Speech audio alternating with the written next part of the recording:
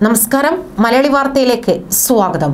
Subeera ഫർഹത്തിന്റെ തിരോധാനം കൊലപാതകമെന്ന് തെളിഞ്ഞതോടെ ഞെട്ടലിലാണ് Valanchery.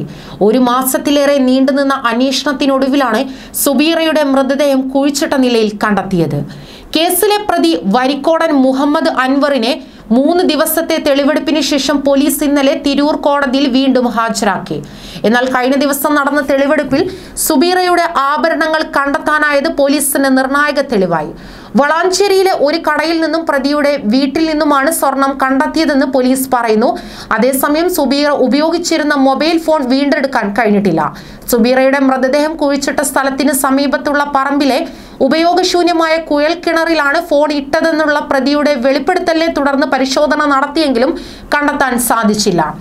Phone കിണറ്റിലിട്ടതിനു ശേഷം കല്ലിട്ടിരുന്നു. സുബീറയുടെ shoulder ബാഗും ചോറ്റുപാത്രവും കുഴിച്ചിട്ട നിലയിൽ കണ്ടെത്തിയിരുന്നു. കഴിഞ്ഞ ഇരുപതിനാണ് സുബീറ ഫർഹത്തിന്റെ മൃതദേഹം ചുള്ളിച്ചോലയിലെ ചെങ്കൽ കോറിക്ക് സമീപം പറമ്പിൽ കുഴിച്ചു മൂടിയ നിലയിൽ കണ്ടെത്തിയത്. തുടർന്നാണ് പ്രതി അറസ്റ്റിലായത്. തിരൂർ കോടതി റിമാൻഡ് ചെയ്ത പ്രതിയെ വിശദമായ ചോദ്യം ചെയ്യലും കൂടുതൽ തെളിവെടുപ്പിനുമായി പോലീസ് കസ്റ്റഡിയിൽ വാങ്ങുകയായിരുന്നു.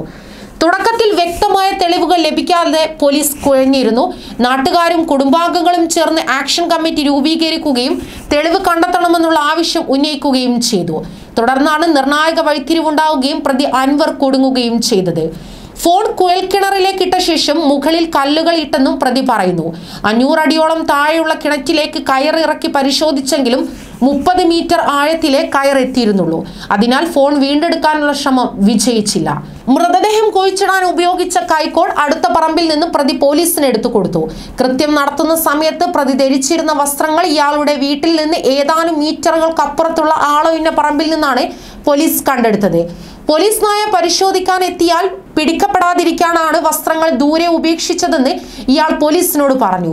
യുവതി ധരിച്ചിരുന്ന സ്വർണാഭരണങ്ങൾ അടുത്ത ദിവസം വീണ്ടെടുക്കുമെന്ന് പോലീസ് പറഞ്ഞു. കൊലയ്ക്ക് ശേഷം കോറിയിൽ കുഴിച്ചിട്ട യുവതിയുടെ ഷോൾഡർ ബാഗ് പ്രതി തന്നെയാണ് പുറത്തെടുത്തത്. Valanchery station S H O P M ഷമീറിന്റെ നേതൃത്വത്തിൽ എസ് ഐമാരായ Muhammad Rafi Pramod A S I Jayaprakash എന്നിവരടങ്ങിയ സംഘമാണ് തെളിവെടുപ്പ് നടത്തിയത്. ഇപ്പോഴും മാനസികമായി തളർന്നിരിക്കുകയാണ് സുബീറയുടെ ഉമ്മയും വാപ്പയും. മകളുടെ മരണം സുബീറയുടെ കുടുംബത്തിന് ഇപ്പോഴും ഉൾക്കൊള്ളാൻ സാധിച്ചിട്ടില്ല. ന്യൂസ് ഡെസ്ക് മലയാളി വാർത്ത.